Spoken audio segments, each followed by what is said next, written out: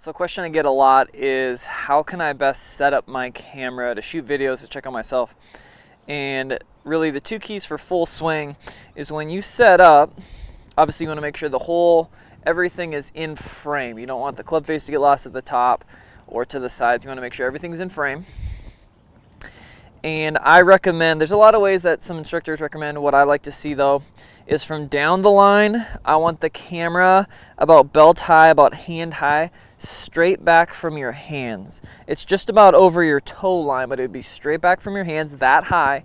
You don't want it too high up because then everything uh, appears to be low. You don't want it too low. Things appear to be too high. And then from a front view, I like it about that same height, about hand high, about belt high straight on, just facing you again, making sure that everything is in frame. And that's going to be a great uh, use of feedback to check on yourselves, to, to send videos to instructors. I'm going to highly recommend that because you want to check on yourself to make sure you're making the tangible changes that you want to make.